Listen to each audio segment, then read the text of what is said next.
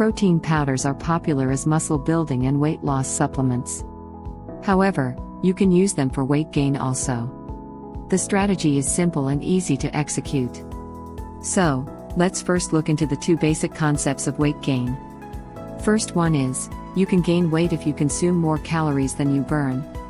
Though it is not conclusive that low calories can lower weight or higher calories can increase weight in most people. Yet, in most cases, higher calories intake has helped in weight gain. And the second way is to consume more fat rich foods than proteins and carbohydrates rich foods for those extra pounds. But then, how protein powder can help in weight gain? It is because protein powder is concentrated protein containing high calories. So, if you regularly eat it but don't exercise enough, then you will not burn enough calories. As a result, instead of building muscles, you will slowly put on weight. You can also add healthy fats such as flaxseed oil or hemp oil to the protein powder to increase calories. Be careful on what type of fat you consume to gain weight to stay healthy.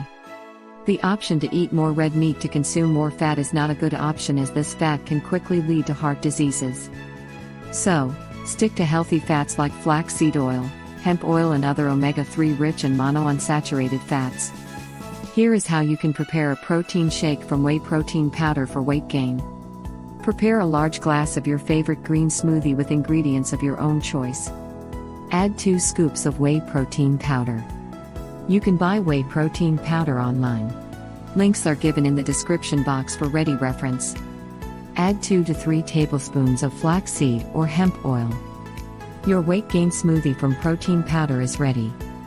Drink such smoothies twice a day. It will add 1000 to 1200 calories in addition to the calories you get from your normal regular diet. These extra calories should turn into extra pounds on your body weight. Check your weight every week to see the progress on weight gain. If your weight doesn't increase in a month's time, then consult a doctor. You may need more professional help for weight gain. If you enjoyed the video, then give it a thumbs up and share with your friends. Subscribe to the channel to watch more videos.